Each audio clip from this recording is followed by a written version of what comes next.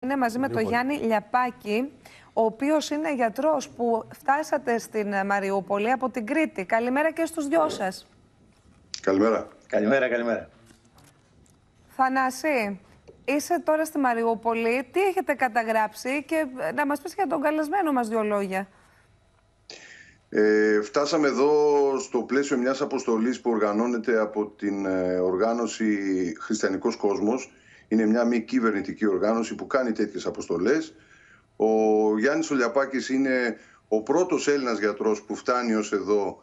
Ε, προφανώς ε, ε, τον ενδιαφέρει, καταλαβαίνω πάρα πολύ, να βρει έναν τρόπο να παρασχεθεί βοήθεια κυρίως πρώτα απ' όλα στους ομογενείς, τους χιλιάδες ομογενείς μας που ζουν στην πόλη της Μαριούπολης και την ευρύτερη περιοχή. Ε, επισκεφθήκαμε και αυτό βλέπετε το κτίριο που ήταν κάποτε ένα ιστορικό βέβαια κτίριο της ε, Ομοσπονδίας Ελληνικών Κοινοτήτων της Ουκρανίας. Δυστυχώς έχει υποστεί κάποιες ε, ζημιές, όχι τόσες πολλές γιατί μπήκαμε και στο εσωτερικό του. Ε, όμως το βασικό είναι ότι ε, αρκετοί, αρκετές χιλιάδες ομογενείς προσπαθούν εδώ να ξαναστήσουν την ε, ζωή τους και νομίζω και αυτή η αποστολή έχει αυτό το στόχο να συμβάλλει, να συνδράμει αυτή την προσπάθεια να επιστρέψει ε, κάπως η ζωή ε, στην ε, περιοχή. Βλέπετε πλάνα από ένα από τα πολλά νοσοκομεία που επισκεφθήκαμε και επισκέφθηκε ο Γιάννης Ολιαπάκης μαζί με αρμένιους συναδέλφους του για να συζητήσουμε τις προοπτικές, κυρίως τα, οι ίδιοι δηλαδή ως ειδικοί σε αυτό το τομέα, να συζητήσουν τις προοπτικές συνεργασίας στον ιατρικό τομέα ε, νομίζω είναι πολύ σοβαρή προοπτική ότι και ο ίδιος και οι Αρμένοι συνάδελφοί του αλλά ελπίζουμε όλοι και άλλοι συνάδελφοι, ε, συνάδελφοί τους γιατροί θα έρθουν εδώ για να βοηθήσουν τους ανθρώπους γιατί υπάρχουν τεράστιες ελλείψεις. Κύριε Λιαπάκη, εσείς δεν, δεν, δεν ανησυχείτε γιατί είναι, είμαστε, σε, είναι, είμαστε σε πόλεμο εκεί πέρα, είστε σε πόλεμο. Δεν ανησυχείτε; Ε, κοιτάξτε να δείτε, ναι. Όπως είπε και ο κύριος Αυγερινό, είμαι ο πρώτος, αλλά είμαι σίγουρος ότι θα ακολουθήσουν ε, και άλλοι. Έχουμε μιλήσει με τους κατατόπους ιατρικούς συλλόγους στην Ελλάδα, με την Ελληνική Εταιρεία Πλαστικής Χειρουργική, η οποία μας στηρίζει στο έργο μας και μπορώ να σας πω ότι η ζωή συνεχίζεται. Είναι μια ε, κατεστραμμένη πόλη. Δυστυχώς αυτό είναι το μεγάλο δράμα που ζουν οι άνθρωποι οι οποίοι επέστρεψαν. Δεν ξέρω πόσο τη εκατό έχουν επιστρέψει. Εγώ μπορώ να σας πω όμως ότι αυτό που είδα είναι ότι η ζωή συνεχίζεται. Και εμείς είμαστε εδώ προκειμένου να παράσχουμε κάθε βοήθεια ε, δυνατή, ούτως ώστε η καθημερινότητά τους να γίνει λίγο καλύτερη. Ε, μιλήσαμε με ανθρώπους, ε, συναδέλφους εδώ, οι οποίοι κάτσανε ε, καθ' όλη τη ε, διάρκεια ε, του πολέμου. Πραγματικά οι φωτογραφίες αλλά και οι ιστορίες που άκουσα ήταν συγκλονιστικές, όχι μόνο εγώ αλλά και όλοι οι συνάδελφοι από την Αρμενία. Πρέπει να σας πω ότι έχει εδώ πέρα πάνω από 60-70 χιλιάδες Έλληνες στη γύρω περιοχή της Μαριούπολης, οι οποίοι έχουν μια υπερδυσχυλιετή παρουσία. Δεν είναι δηλαδή άνθρωποι οι οποίοι είναι Ουκρανοί, οι Ρώσοι. Πάνω απ' όλα είναι άνθρωποι και κυρίως Έλληνες.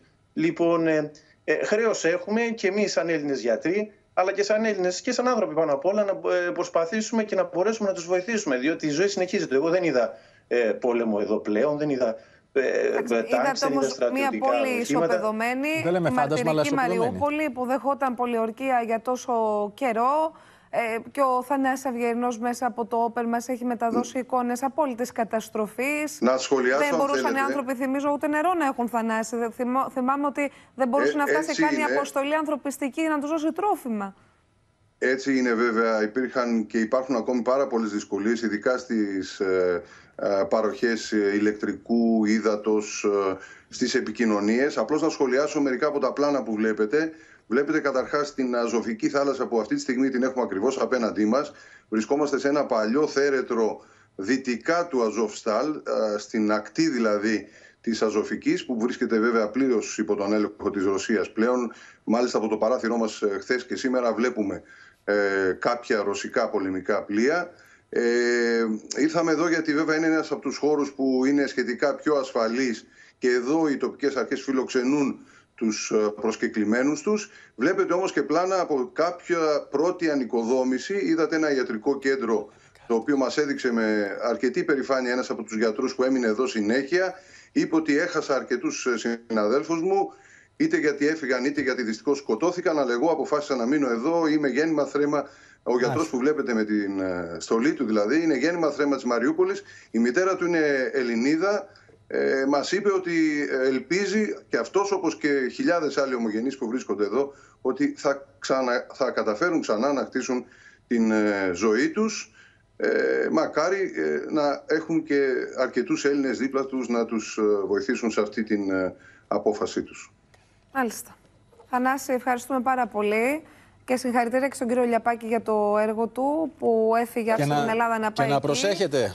Και, και μπράβο, γιατί ειλικρινώς οι άνθρωποι της Μαριούπολης χρειάζονται πολύ μεγάλη στήριξη και δυστυχώς θα χρειαστούν χρόνια μέχρι να φτάσουν σε ένα καλύτερο επίπεδο. Καλημέρα, ευχαριστούμε πολύ.